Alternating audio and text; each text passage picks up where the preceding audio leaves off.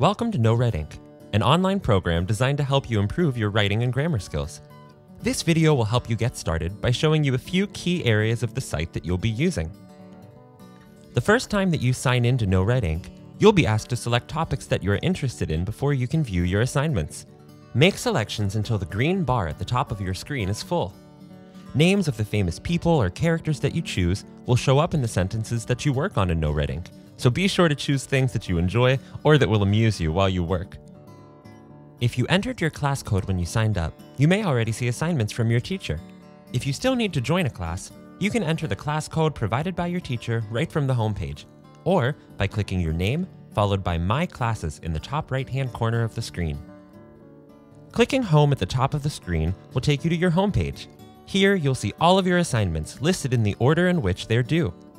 If you have assignments that are past due, you'll see them listed under Late Assignments. Clicking View More Assignments will expand this list. You can view a list of completed assignments by clicking Past Work at the top of your screen. The Past Work page will show you a list of all assignments that you've finished or that are past their due date, as well as your score. If you've submitted a writing assignment, you can view your work as well as any feedback left by your teacher by clicking View Writing. Another page you'll want to be familiar with is the Learn page.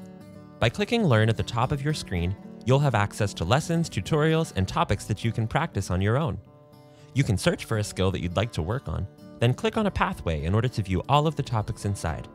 Once you've found a topic you'd like to work on, you can click on the bubble to view lessons or to start earning mastery by completing practice.